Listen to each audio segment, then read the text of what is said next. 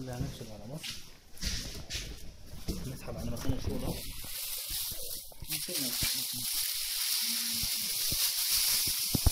ممكن